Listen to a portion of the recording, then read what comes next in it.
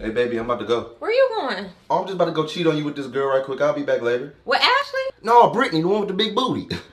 Oh, tell Brittany I said, hey, make sure y'all use a condom. we will. There ain't no problem. There ain't no.